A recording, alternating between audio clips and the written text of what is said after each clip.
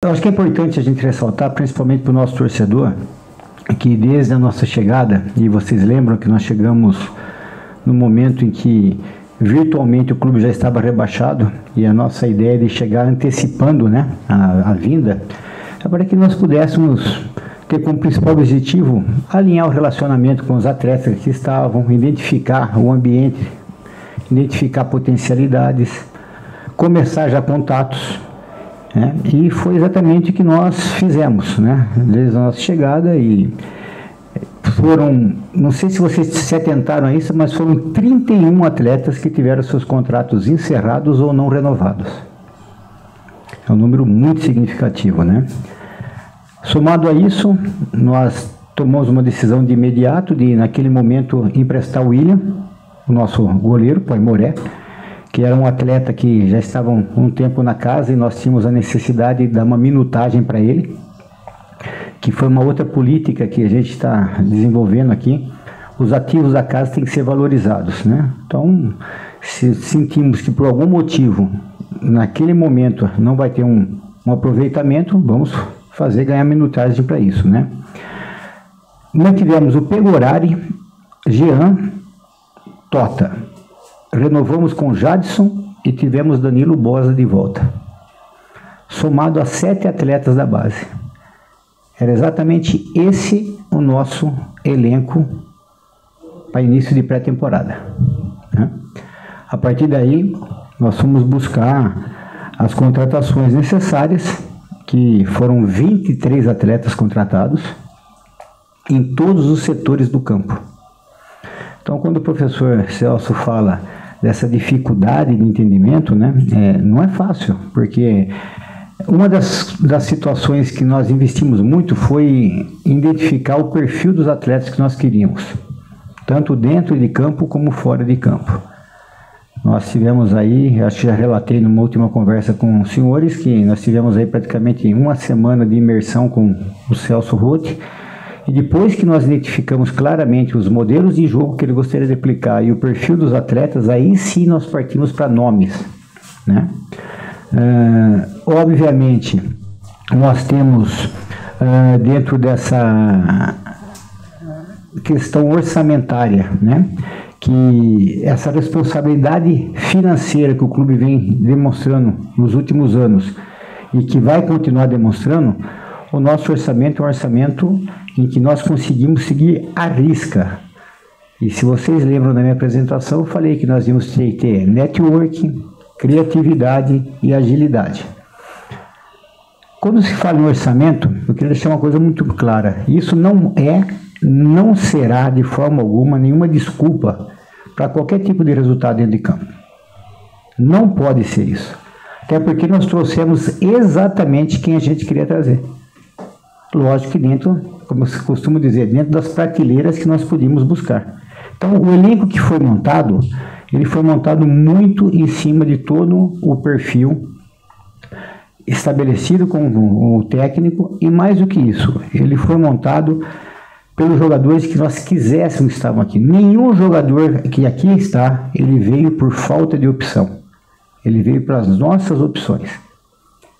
O quanto isso vai dar certo ou não, o quanto nós somos capazes ou não, o tempo dirá a partir de agora. Né? Gostaria também de passar para vocês que, é, dentro da política né, institucional do clube, estamos muito atentos à categoria de base, que além dos jogadores que ali estão e que, e que alguns deles poderão estar de saídas também para ganhar minutagem nos próximos dias. Já estamos num processo de aproveitamento e de subir jogadores que jogaram a Copa São Paulo, que vai ser uma prática entre nós. O sub-20 vai estar muito integrado à equipe principal.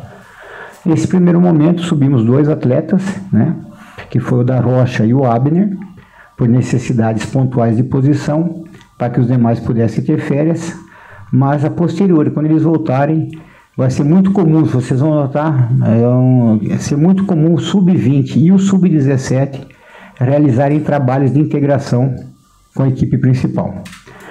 Outra situação que também aproveitando né, esse DNA formador do clube, que não é só formar atleta, mas profissionais também, fizemos uma, uma escadinha positiva, né? Promovemos é, é, a questão da, do preparador físico, do auxiliar preparação física, do fisiologista, todos profissionais da casa que foram galgando posições superiores. Né? E também falar sobre a questão da nova estrutura do CT, que facilitou muito para nós hoje o fato de nós podermos nos apresentar no CT para fazer os treinos diretamente lá. Obviamente, existem, existirão sempre muitas mudanças e incrementos a serem feitos, mas nesse primeiro momento atendeu muito toda a nossa necessidade. E me coloco à disposição dos senhores aí para as perguntas. Vamos falar então, Júnior, do último reforço que o clube buscou, que foi o zagueiro Alce, a situação, justamente como o Juventude chegou nesse nome, que é um atleta que surgiu muito bem lá no São Paulo, com convocações em seleções de base, mas que sofreu muito com lesões também. O que, que o Juventude espera desse atleta agora?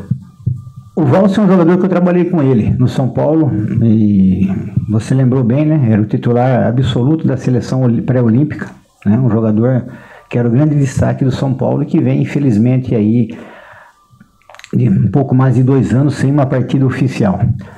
O Valse ele faz parte de um monitoramento que nós temos e de algumas parcerias com clubes, né? Ele chega hoje aonde todos, a todas as garantias econômicas, jurídicas e técnicas são dadas pelo São Paulo. Né? E é um jogador que vem, conversei muito com ele, conversamos, nossos departamentos médicos conversaram muito. Ele é um jogador que não sei se vocês sabem, mas ele está 60 dias completamente integrado à equipe principal do São Paulo, fazendo todos os trabalhos sem nenhuma reincidência de nenhum problema, né? E por que, que o Valse vem para o, o, Juventude? Porque ele precisa respirar novos ares. O mesmo efeito que quando a gente tira um, jo um jovem daqui para ganhar uma minutagem, para ganhar um pouco de casca, o Valse ele precisava de novos ares. E aí é uma coisa que eu acho que todos vocês têm que se orgulhar muito, né? Quem hoje está no dia a dia com o Juventude. O Juventude hoje já tem uma marca de ter um trabalho sério, de ter uma estrutura importante para que pudesse permitir que esse jogador viesse para cá e a partir de agora pudesse, inclusive ontem ele já treinou, só para vocês saberem, já treinou, treinou normalmente. E é um jogador que está aqui e, e a repercussão da volta dele pela torcida do São Paulo, que conhece ele muito bem, é de muita felicidade, né? Que ele possa estar voltando, né? Júnior, me perdoe se a pergunta ficar um pouco longa, porque já faz alguns dias que eu preciso fazer essa pergunta Sim. e não consegui ainda.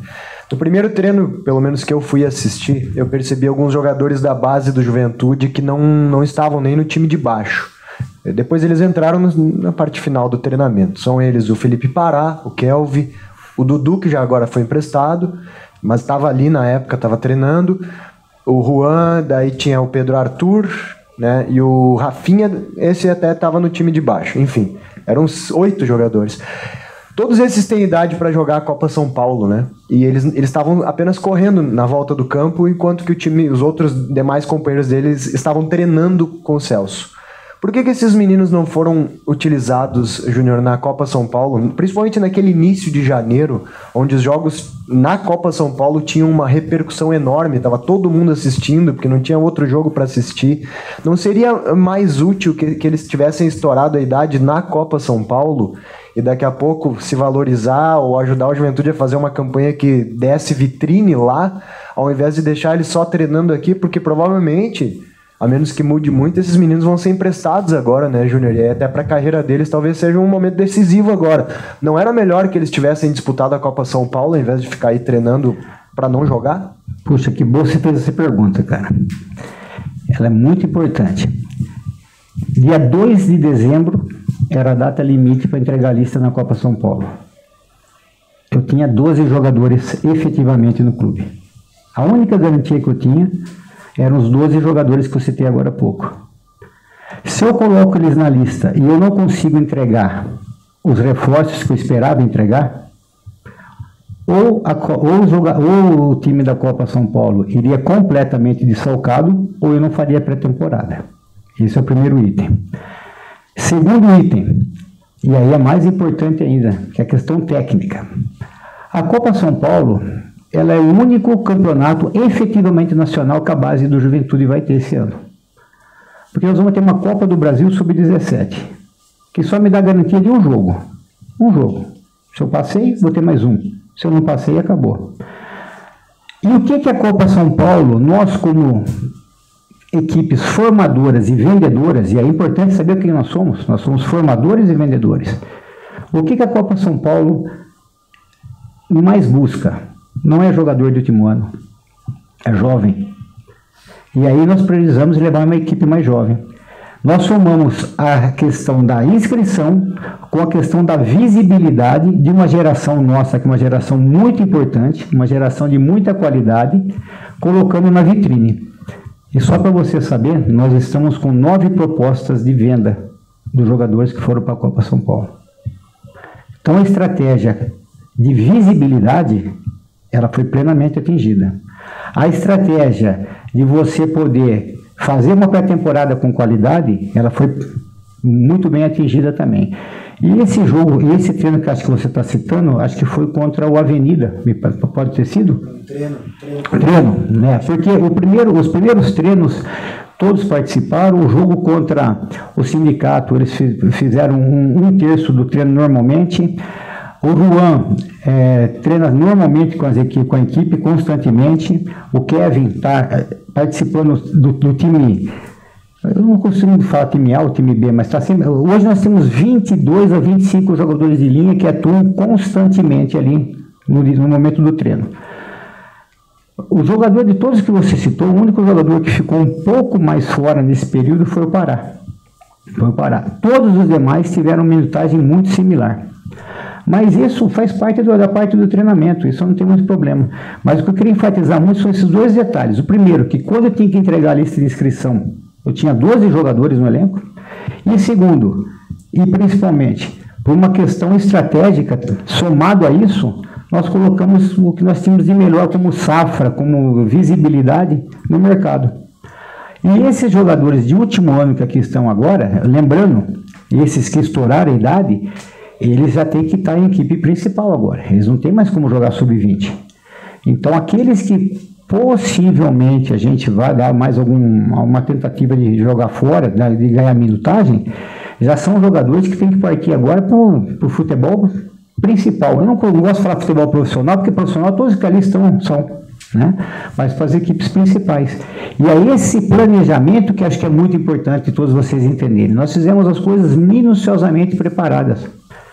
Sabe, não foi uma situação, ah, vamos isso ou aquilo. Não, preparamos todas as contingências possíveis e a partir de agora, os jogadores que porventura saiam, e nós temos hoje uma expectativa de tirar alguns jogadores de idade estourada, para que eles ganhem mais minutos fora daqui. Por quê? Porque principalmente jogadores mais jovens, com idade ainda de sub-20, de, de sub-19, de sub-18, estão mostrando uma, um, um poderio muito forte e são jogadores que podem trabalhar tranquilamente conosco durante a semana e ainda ser utilizado durante o campeonato gaúcho.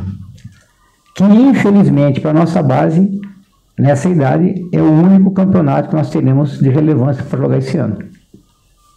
Júnior, é, na entrevista anterior do Celso Rotti, ele até falava que espera contar com os jogadores que chegaram aí nesta semana, precisam ainda serem regularizados. Te pergunto qual a situação deles, estarão no BID a tempo de sábado? Olha, nós temos uma expectativa positiva para os três, mas é, documentação meio complicado, né?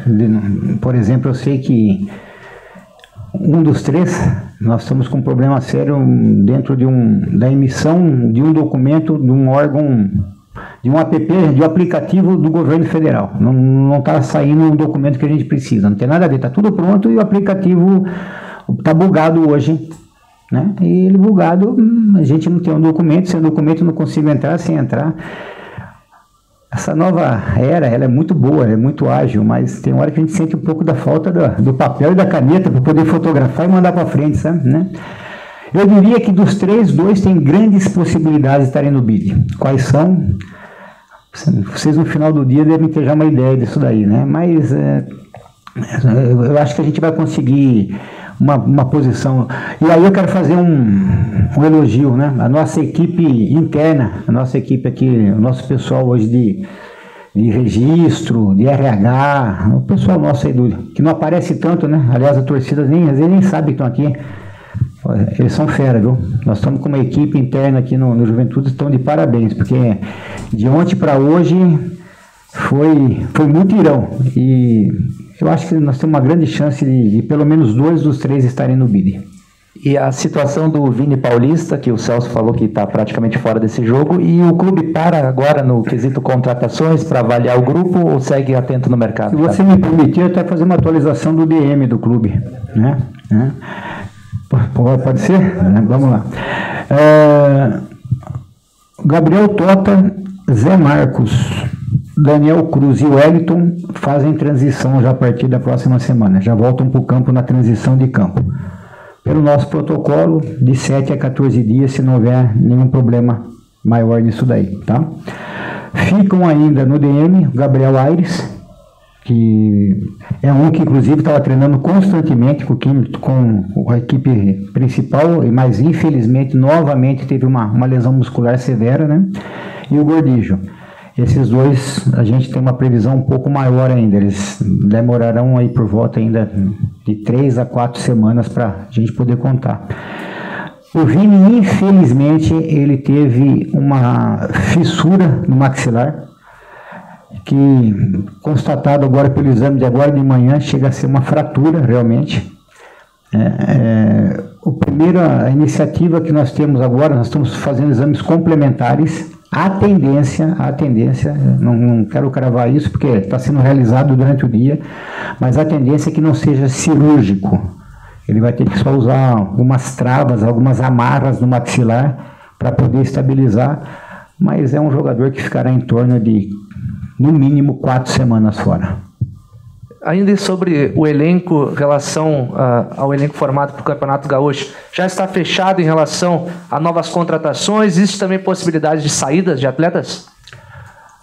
Saídas, é, diria que são apenas os mais jovens que a gente está vislumbrando da minutagem. Né? Dos, dos que chegaram, não vejo nenhuma expectativa de saída. Nós estamos tomando um cuidado muito grande na quantidade do, do, do, elenco, né? Porque às vezes parece que nós estamos com muitos jogadores. Ah, não tem...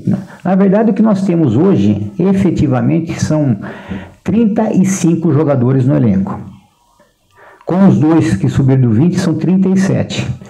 Mas se você tirar hoje os que estão no DM e os que estão e os que são da base que fazem esse processo, nós passamos agora a última semana, só para vocês terem uma ideia, quatro sessões de treino com apenas 19 jogadores de linha. E o Celso, vocês já perceberam, ele gosta muito de trabalhar o campo reduzido ou campo aberto, sempre 10 contra 10. Ele gosta de fazer esse trabalho né, de aproximação, até ter uma necessidade para que a gente possa ganhar tempo na, no conhecimento do atleta. Então, essas, nós temos algumas sequências de, é, de treinamento que sequer nós tínhamos 20 jogadores de linha para trabalhar. O que é o ideal para nós? Que a gente mantenha entre 25 a 27 jogadores de linha, né? Por isso que nós vamos, vamos, vamos investir muito nos jogadores com idade de sub-20, porque isso nos permite que o jogador, mesmo que ele tenha um pouco menos de treino durante a semana, no final de semana ele tem atividade. Né? E ao mesmo tempo, aqueles que já estouraram a idade, Alguns já vão ficar de forma definitiva e os que não ficarem, é aquilo que eu disse agora há pouco, ganhar minutagem para que esse ativo do clube fique permanentemente sendo valorizado. Mas fechado nunca está fechado, né? Nunca está fechado. A gente espero sinceramente não ter que movimentar o mercado por contusão. Até conversando hoje com o presidente, eu falei que a única coisa que me deixa chateado no futebol, mas chateado mesmo, é contusão. Porque foge da nossa alçada, foge do nosso poder, sabe? Enquanto os jogadores estão ali, se a gente teve competência ou não para montar a equipe, né? tudo isso é questionável, mas eles estão disponíveis. O jogador que não está disponível é o que mais chateia a gente.